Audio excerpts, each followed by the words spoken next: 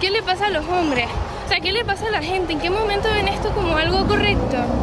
Un claro caso de abuso. La chica, indignada, abandona la guagua tras grabar como ese individuo le toca durante el viaje. El vídeo ha corrido eh, por las redes, ha tenido mucha repercusión. Incluso otras mujeres que lo han visto le han señalado a él, a ese señor, por haber sido ya eh, víctimas también de esta misma persona.